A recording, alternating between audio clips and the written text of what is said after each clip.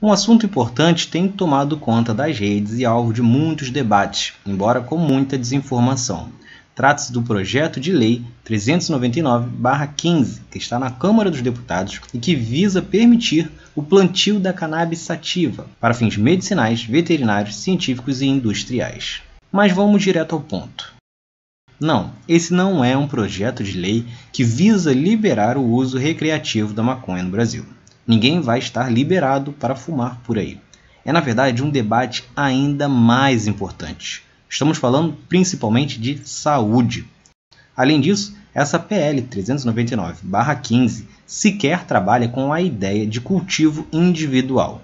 O plantio será permitido apenas por pessoas jurídicas como empresas, associações e o SUS. Algo fundamental para democratizar o acesso ao medicamento. Hoje, sem essa lei, a produção é totalmente estrangeira e o abastecimento interno depende da importação das indústrias farmacêuticas. Portanto, estamos falando de algo que já é permitido no Brasil, porém comprado de fora, o que torna mais difícil o acesso para as pessoas mais pobres e deixa o recurso quase que exclusivo aos mais ricos. Isso porque o preço de uma caixa custa, em média, R$ 2.123.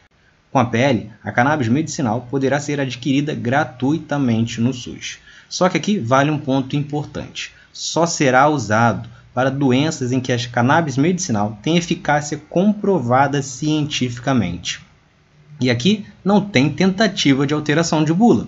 A cannabis medicinal é eficiente para pacientes com dores crônicas, autismo, esclerose múltipla, Alzheimer, Parkinson, epilepsias e muitas outras. Estudos mostram que crianças que tinham várias convulsões por dia praticamente zeraram esses episódios com o medicamento. Então, resumindo, para que não reste preconceito, o projeto de lei é para liberar o uso de cannabis, um produto natural para fins medicinais, para ajudar pacientes.